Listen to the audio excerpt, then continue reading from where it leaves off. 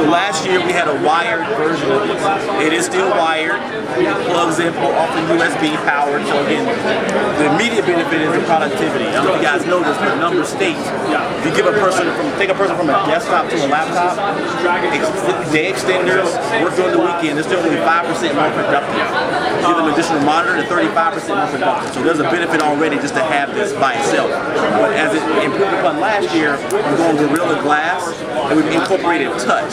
So it just so happens to be attached to a system that's already touch enabled. But if you attach this system to a Windows 8 laptop or desktop that's not touch enabled, you get touch functionality out of it.